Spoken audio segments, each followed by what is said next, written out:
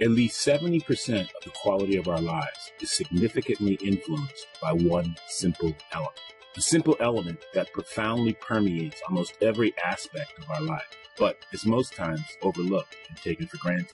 The quantity and quality of this simple element in our lives directly affects every aspect of our being, influencing physical and mental health, productivity, and even mortality. In contemporary times, there's much concern about what one should or shouldn't eat. Quality of food no doubt affects and reflects quality of life. But whether vegetarian or carnivore, the one simple element that is absolutely fundamental for all bodily function and well-being is water. Pure water. Think about it. The human fetus is 99% water, and the newborn child is 90%.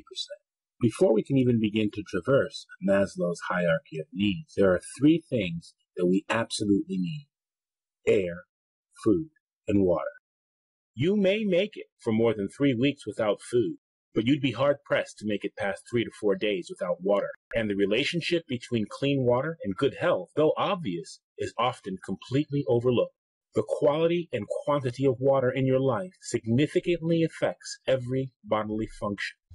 All over the world where clean water is abundant, quality of life for all things thrives. Conversely, when there is a lack of clean water, quality of life for all things declines. There is no substitute for water in any of its functions. It has as important a role in the health of the planet as to the human body. No water means no life. In the United States, the general perception of water purity is in need of a serious readjustment. Over the past five decades, our environment has drastically changed. The patterns of disease have also profoundly changed. All around the world, diseases in children are substantially increasing, and at the same time, more than 80,000 new chemicals have been developed and released into the global environment. In the wake of these unfortunate realities, there are a few questions which seriously need to be addressed about drinking water in the United States. Last year, $11.8 billion was spent in the U.S. on bottled water.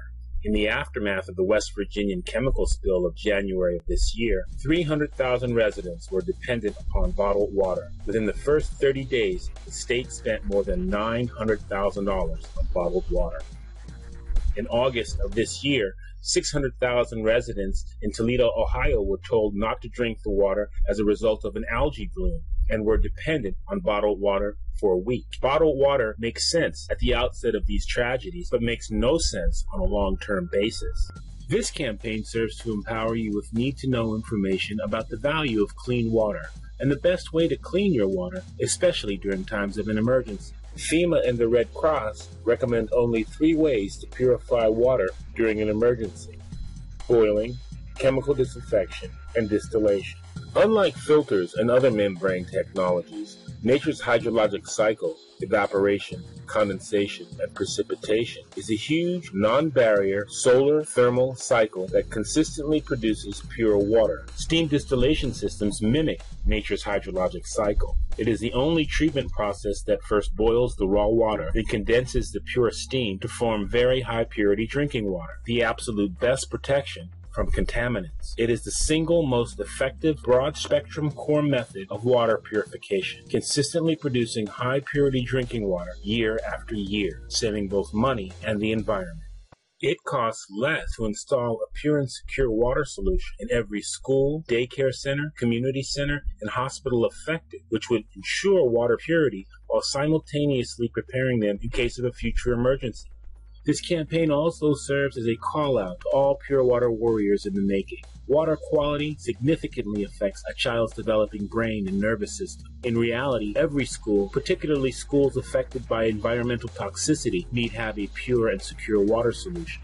So let's change the world and bring pure water to all the places of refuge, to all the schools, to the daycare and community centers, to the hospital, to your office, to your home